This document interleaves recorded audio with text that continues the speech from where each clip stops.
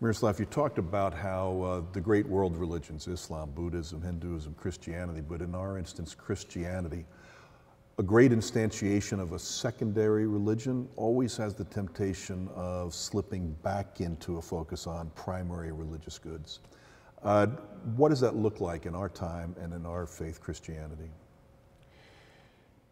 Uh, I, I think all these secondary religions have the temptation to compromise their original vision. Um, I'll let other people speak about their own religion. I'm uh, a, a very happily, uh, I very happily embrace the Christian faith. So I think I can also, uh, with a tear or two, speak about malfunction of Christian faith. And when you look and observe Christian faith through the centuries, you see, I think, two major malfunctions of faith.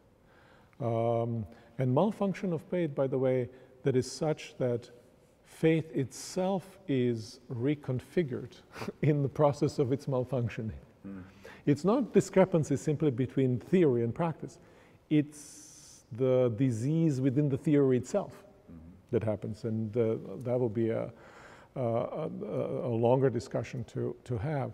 But one of those malfunctions is high level of identification between a particular religion, Christian faith, and a particular nation or particular ethnic group or particular territorial people in a particular territorial domain. As if then God is the God of this people rather than being God of all people, right?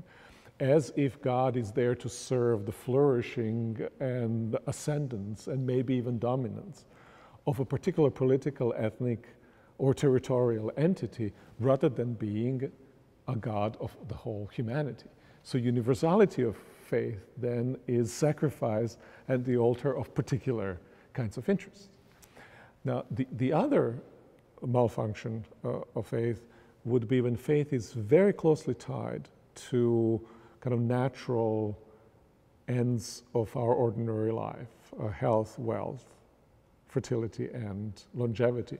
And generally, what happens uh, in, in, contemporary settings, it's tied too much with kind of economic success.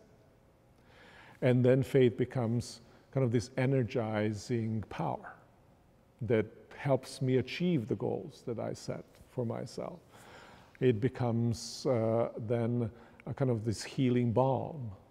I call it in, in the book A Public Faith, I call it uh, religion as performance enhancing drug or religion as divine band aid. But in a major way, it has become very much like what the primary religions are, serving the same, uh, the same ends. And it has betrayed its larger transcendent and of orienting one's life around God, uh, around universal commitments that come from the commands of God. And you can see then in this both the, the, the, way what happens then in the first case, where faith identifies too close to with a, uh, with the ethnic group or nation, it becomes coercive.